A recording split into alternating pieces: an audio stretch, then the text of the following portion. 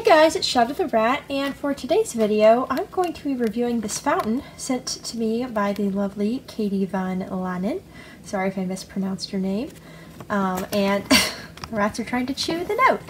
Uh, anyways, I'm a bit late to review this. I'm sorry. I was so excited when I saw it come in, but unfortunately it was pretty much right before I went on a trip.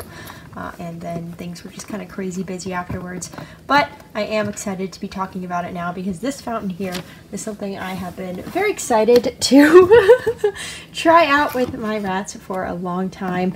Uh, some of you might remember that back when I had my girls Biscuit, Oreo, and Espresso, which I think was 2018 or maybe 2019. Uh, anyways, I had a cute little fountain that was super adorable. I got it at a store called Tuesday Morning. It's like a little restock store. And anyways, the fountain was so cute uh, and the rats really loved it and I thought it was perfect for them and that's when I realized that it had no filter and no way to clean it. So not great. And after a short while of using it, I realized that it really wasn't safe to continue using it with my rats. So after that, I pretty much just shelved it, and even though I still have the parts, it's just not something I ever see myself using with my rats again, uh, because, well, it's just not really suitable for pets. Now this fountain, on the other hand, was designed for cats, so it actually has a pet-safe design in mind, and it's rated as one of the number one cat fountains. And it's not uncommon to see people using it for other animals like rats as well. Uh, in fact, it's quite quite popular in a lot of the rat groups I'm part of. So that was another reason I was very excited to see this in the mail because it was like, oh my gosh, this is just such a cool fountain. And knowing that it's actually safe for my rats just makes it a lot easier to enjoy it because I'm not worried about them getting sick from drinking from it because it actually has a filter and it's super easy to take apart and clean. Uh, this is my first time using it, so of course I can't talk about long term, but the rats have really adored it so far. Uh, I let them use it for a few minutes before I started this video, and actually you're going to see some various clips that I took of them initially using it. The rats really like to go under the water or just to kind of like bite at the water streams. Uh, the fountain actually has three different options. You can do it without the flower, so the water's just kind of gently crusting over the green part. Uh, you can do it with the flower petals, but without the middle.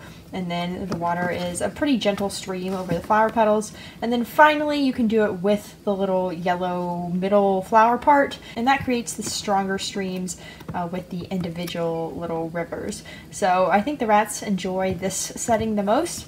Uh, and I'm going to keep it at that setting because they just seem to really enjoy playing with the little streams. Anyways, I am very pleased with this fountain and so are my rats. So again, a big thanks to Katie. Uh, this is just such a cool thing to try out with the rats and I can see myself using it pretty much every free range. Uh, that's actually my plan right now. I'm going to continue using it every single time I put out the free range area because the rats have really enjoyed it so far. Uh, and I just wanted to add one more thing, which is that this fountain does have a cord, so that's pretty much the only downside when it comes to rats because, well, they like to chew cords. Uh, and the way I've gotten around that is because I'm using a playpen, I basically scooted the fountain as close to the playpen as possible and then set the playpen wall on top of the cord. Now the playpen wall is very light, so I don't think it's going to cause any damage, uh, hopefully. And then on top of that, I kind of blocked off access to the cord using these two side platforms, which are also doubling as a way for the rats to easily get to the fountain. Okay, so that is it for this video. I hope you guys enjoyed seeing the rats play with the fountain, and, uh, you know, I'd be curious to know if anyone else has fountains for the rats and, you know, how that's gone. Do your rats like the fountain? Are they afraid of the fountain? Uh, I've heard both sides, so I'm always curious to know which way the rats go. Anyways, that's it for this video. Again, a big thanks to Katie, and I hope everyone has a great day. Bye!